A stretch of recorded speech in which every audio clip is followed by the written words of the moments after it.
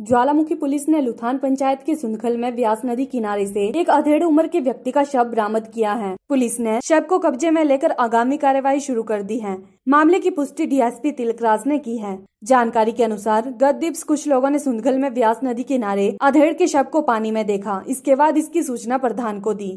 प्रधान लुथान सरोज कुमार ने बताया कि जैसे ही सूचना मिली तो कुछ लोगों को नज़दीक भेजकर देखा तो पाया गया कि कोई शव पानी में है। इसके बाद ज्वालामुखी पुलिस को सूचना दी गई। एएसआई विपिन कुमार के साथ पुलिस टीम मौके पर पहुँची और शव को पानी से बाहर निकाला, पर शव की पहचान नहीं हो पाई। वहीं पुलिस को व्यक्ति के पास से ऐसी कोई भी वस्तु नहीं मिली है, जिससे उसकी पहचान उजागर हो सके।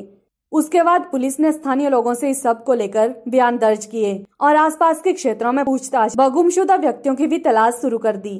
पंचायत प्रधानों व नजदीकी थानों को भी शव के फ़ोटो भेजे गए। तभी गुम्मर के प्रधान रामलोक धनोटिया ने मृतक को पहचान लिया। प्रधान रामलोक ने बताया कि उक्त अधेड़ गुम्मर का स्थायी निवासी है। मृतक की पहचान रामलाल पुत्र गौनसा राम निवासी गुम्मर के रूप में हुई है। साथ की लगती हुई पंचायत में एक शव मिला है। वो ग्राम पंचायत गुम्बर का स्थायी निवासी है और ये पिछले चार पाँच दिन से गायब था।